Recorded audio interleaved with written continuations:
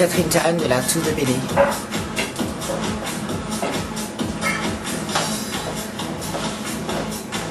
Jean-Baptiste de la Misérière.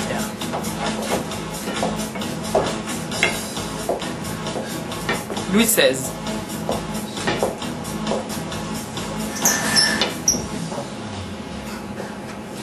Marie-Antoinette.